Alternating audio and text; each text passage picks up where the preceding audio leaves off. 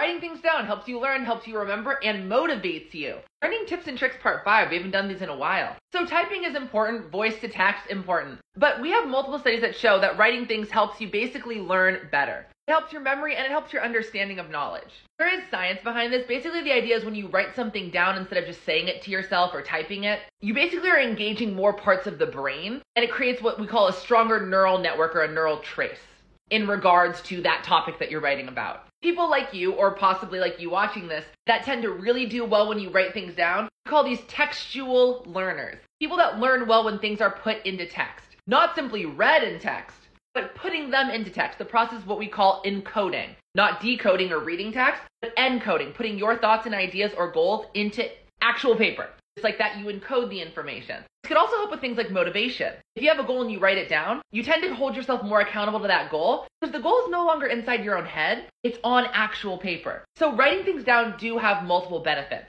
Any kid that says, oh, well, you know, we're to have computers that write for us, bro, we already have computers that write for us.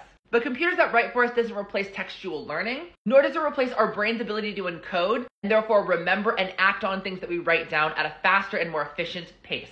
I hope this helps.